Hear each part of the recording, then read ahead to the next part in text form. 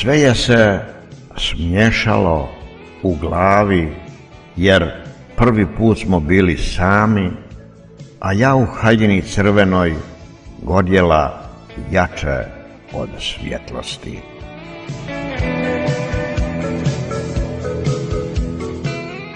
Edima Efendić Džinić Tuzla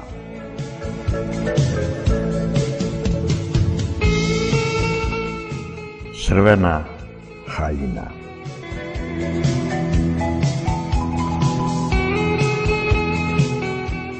To veče muzika je palila svijeće, a ja sam gorjela više od njih u crvenoj haljini purpurne svile koja je mirisala na tvoje poglede. A bila je mjesečina i izvirivala na obris mog dekoltea, namještenog tek da ti zagolica misli i da skrene pažnju tvojih nemirnih očiju.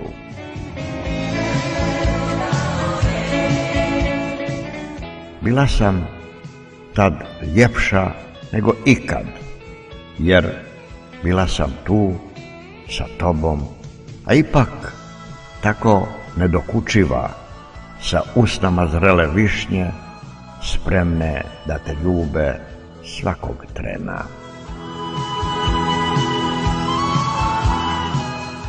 Ipak, htjela sam ne da te zavedem, nego da te navedem samo da me voliš, jer ličio si toliko na mene i na moje snove, u kojima si postao java, a ja tvoje jučer ili ono sutra. Sve je se smiješalo u glavi, jer prvi put smo bili sami, a ja u haljini crvenoj godjela jače od svjetlosti.